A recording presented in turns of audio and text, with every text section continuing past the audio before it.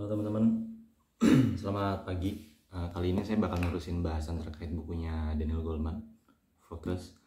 Nah di buku itu kemarin kan kita sudah bahas bahwa ada tiga jenis fokus yang menurut Daniel Goleman itu akan apa ya mendukung kesuksesan kita. Pertama adalah inner focus, yang kedua outer focus, yang ketiga other focus. Nah, kita juga kemarin udah bahas terkait apa namanya jenis-jenis distraksi yang uh, mungkin terjadi gitu ketika kita sedang melakukan sesuatu yaitu uh, gangguan atensi yang bersifat uh, fiskal, fisik atau yang emosional. Nah kali ini kita akan coba lanjutin. Uh, Daniel Goleman menyatakan bahwa kita itu untuk melatih fokus kita harus membedakan dan sorry ah, harus mengerti dulu gitu bagaimana cara otak kita bekerja nah uh, ada dua jenis uh, cara otak kita bekerja yang didefinisikan oleh Daniel Goleman. Pertama adalah uh, top down yang kedua yang kedua itu bottom up. Nah top down ini maksudnya dari atas ke bawah. Maksudnya uh, pemikiran kita itu mengontrol apa yang kita lakukan. Sedangkan yang bottom up itu bersifat intuisi atau uh, refleks seperti itu. Nah, uh, untuk mendapatkan refleks dari satu pekerjaan, makanya kita harus rutin uh, mengerjakan hal tersebut gitu ya, supaya uh, ya udah otot kita sudah terbiasa, cara kita berpikir sudah terbiasa dan sebagainya. Nah, dua hal ini tuh kayak yin and yang.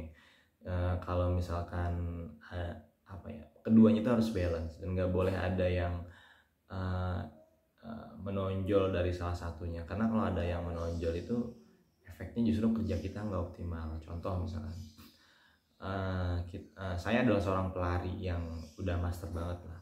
Kayak Usain Bolt misalkan.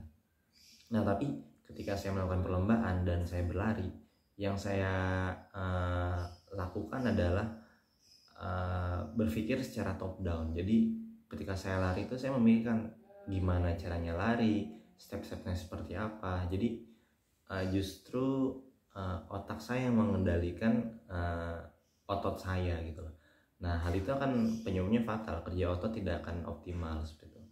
Padahal kalau misalkan kita uh, apa namanya bebaskan atau biarkan uh, otot kita atau memori otot kita itu bekerja maka kerjanya akan optimal. Jadi uh, apa namanya refleks kita, kebiasaan kita ya biarkan uh, berjalan ketika lomba lari tersebut kayak gitu. Karena memang pada dasarnya kalau dalam berlari ya atau atlet-atlet itu di ada yang namanya uh, muscle memories. Jadi si otot itu udah punya memori uh, apa aja yang harus dilakukan ketika uh, berlomba misalnya ketika berlari misalnya si otot itu udah punya memori.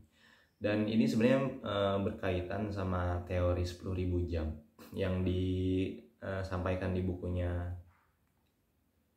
saya lupa uh, judul bukunya Outliers judul bukunya Outliers uh, di buku itu dia menyatakan bahwa uh, ketika kamu mau ahli terhadap satu hal maka lakukan itu sebanyak 70 eh, 10 ribu jam.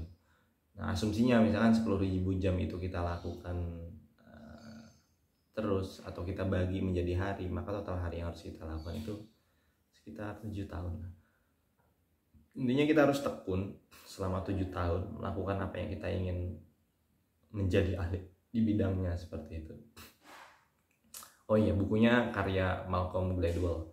Di dia banyak banget tulis buku. Sebelumnya juga saya pernah uh, review buku salah satu bukunya itu tipping point. Cuman di uh, hukum 10.000 jam itu ada di bukunya yang outliers namanya.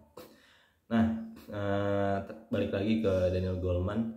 Jadi uh, intinya kita harus bisa paham dulu nih mana yang sesuatu yang emang harus dikerjakan secara top down mana sesuatu yang bisa dikerjakan secara bottom up dan ya intinya kita harus mengenali diri kita sendiri mana yang uh, sesuatu yang kita tuh udah into banget maksudnya kayak udah udah menjadi keseharian dan nggak perlu berpikir lagi untuk melakukannya dan mana yang harus kita pikirkan dulu untuk melakukannya dalam kegiatan kita sehari-hari.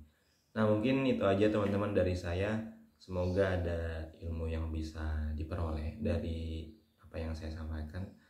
Uh, next mungkin saya akan menyampaikan tentang Sapiens. Kayaknya buku Sapiens itu seru sih. Terima kasih. selamat sore selamat siang pagi deh